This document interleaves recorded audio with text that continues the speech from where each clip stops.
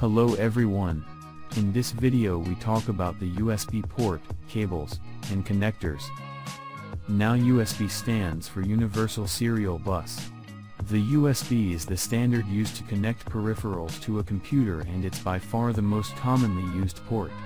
And the reason why it's so commonly used is that just like its name says, it's universal. The USB port is used to connect many different kinds of devices, such as keyboards, mic, cameras, printers, scanners, external hard drives, and flash drives, and they can even do networking and so much more.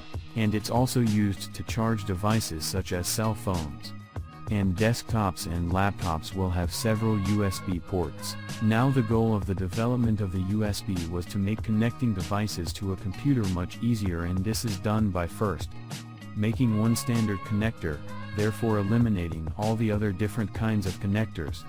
And second, by making connected devices easier to configure. And third, 2. Provide fast transfer rates. The USB port is also hot swappable so devices can be connected or disconnected without turning off the computer or the device. The USB also self-configures itself which eliminates the need for any extensive configuration or no configuration at all in addition to connecting to a computer certain smaller devices can be powered by the USB port without the need for additional power cables. The first USB version was released in 1996 starting with USB 1.0 with later versions released throughout the years.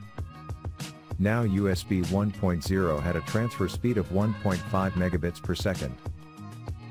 Then two years later in 1998, USB 1.1 was released, and this had a transfer speed of 12 megabits per second.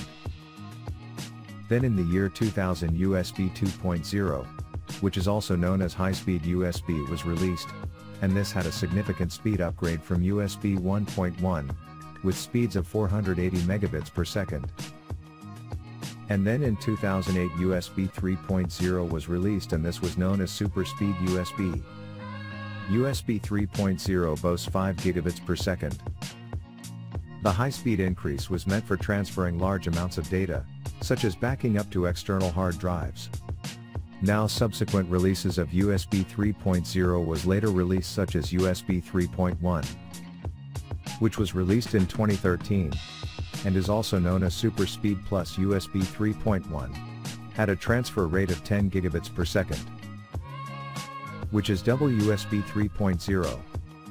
Then soon after USB 3.0 was released, which had a transfer rate of 20 gigabytes per second.